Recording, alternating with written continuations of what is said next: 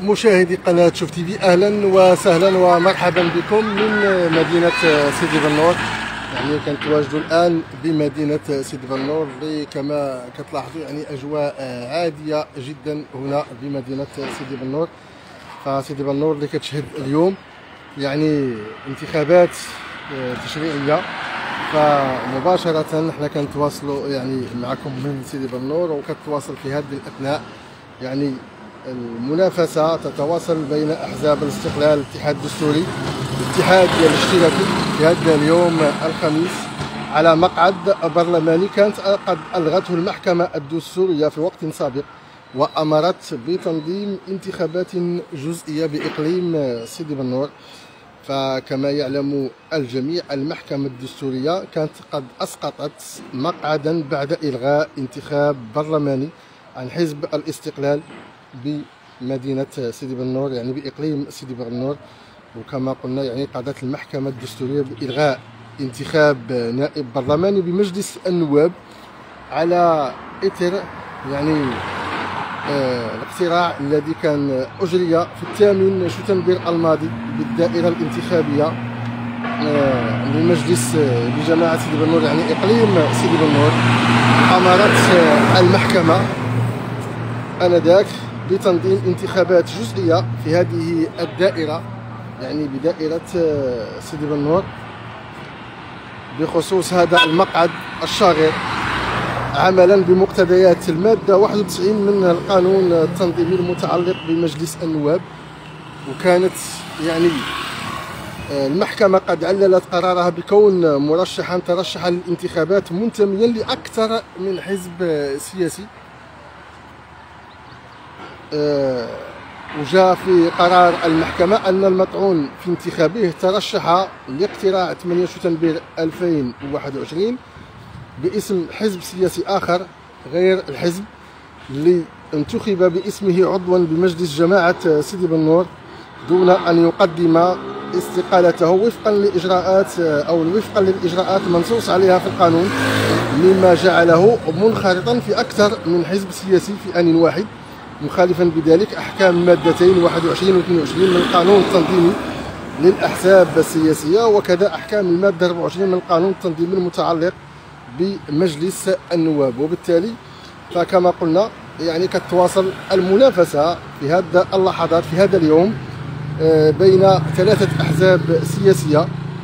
هي الاتحاد الدستوري آه، الاشتراكي حزب الاستقلال والمنافسة على أشدها.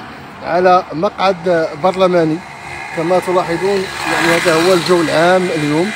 فمن خلال يعني قراءة ومن خلال يعني جولة ببعض مكاتب التصويت فحتى الحدود اللحظة أجواء عادية جدا. أغلب مكاتب التصويت مازال ما كاينش شي إقبال يعني كبير كما عهدناه. فكاين بعض المكاتب اللي حتى حدود اللحظة فيها جوج ديال الأصوات جوج ديال المصوتين. وكاين بعض المكاتب اللي فيها 10 ديال المصوتين. هذا بالنسبة لمدينة سيدي بنور بالنسبة للمكاتب اللي كتواجد بمدينة سيدي بنور كاين مكاتب بمجموعة من الجماعات مجموعة من الدواوير مجموعة من القرى. لكن نتكلموا على المكاتب اللي كتواجد هنا بمدينة سيدي بنور فبعض المكاتب يعني فيها جوج ديال جوج اللي صوتوا. كاين البعض اللي واصلة حتى العشرة.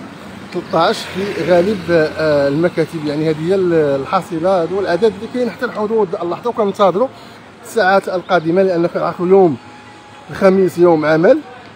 يعني بعد الساعة الرابعة والنصف يعني قبل إغلاق المكاتب ديال التصويت اللي غتغلق في حدود الساعة السابعة. غادي آه، نشوفوا يعني العدد غادي يرتفع أكثر من هذا العدد اللي كاين في هذا الصباح لأن حتى الحدود اللحظه ما كاينش ذاك الإقبال الكبير. اللي كنا كنتظروه يعني سابقا فحتى الحدود اللحظه كما قلنا آه، مكاتب التصويت يعني عدد آه، قليل ديال الناس اللي التحقوا حتى الحدود اللحظه للإدلاء بأصواتهم. فبعض مكاتب التصويت اللي زرناها واللي شفناها في هذا الصباح فيها حوالي جوج يعني ديال المواطنين اللي صوتوا. كاين بعض المكاتب اللي واصل فيها حتى 10 12 13 هذا هو أكثر يعني المكاتب اللي زرناها واللي تصادفنا معها يعني هذا الصباح. ودائما يعني كنتظروا مساء هذا اليوم باش نشوفوا يعني من المنتظر باش يترفع العدد وباش يرتفع العدد حتى الشوارع كما كتشوفوا. فهي شبه فارغة هذا الصباح لأن كاين شوية الحرارة بمدينة سيدي بنور. كاين درجة حرارة مرتفعة وبالتالي فيعني المنافسة على أشدها غتكون على هذا المقعد بين ثلاثة ديال الأحزاب اللي كما قلنا حزب الاستقلال حزب الاتحاد الاشتراكي وحزب الاتحاد الدستوري من أجل انتخاب يعني مرشح انتخاب برلماني. كاين مقعد شاغر بعد ما كانت المحكمة الدستورية قد ألغت هذا المقعد في وقت سابق وبالتالي فالمنافسة على أشدها ما بين ثلاثة ديال الأحزاب السياسية. فغادي نبقاو دائما نواكبوا معكم يعني هذه الانتخابات الجزئية اللي كتجرى بإقليم سيدي بنور واللي بين الفينة والأخرى. نحاولوا نعطيكم يعني المستجدات والجديد باقليم سيدي بنور آه، فيما يخص هذا المقعد الانتخابي اللي كيتنافسوا عليه كما قلنا ثلاثة ديال الاحزاب السياسيه آه، ثلاثة ديال آه، اللوائح يعني لائحة باسم حزب الاستقلال ولائحة باسم حزب الاتحاد الدستوري ولائحة بحزب الاتحاد الاشتراكي وحنا إن شاء الله بين والفينة والأخرى نبقاو نعطيكم يعني الجديد ديال هذه الانتخابات. اللي المكاتب كما قلنا غادي تسد في حدود الساعة السابعة مساء. وفي انتظار ذلك مشاهدي قناة شوف تي في غادي ندعوكم على أمل لقاء بكم إن شاء الله في مباشر آخر. دمتم في رعاية الله وإلى اللقاء مشاهدينا.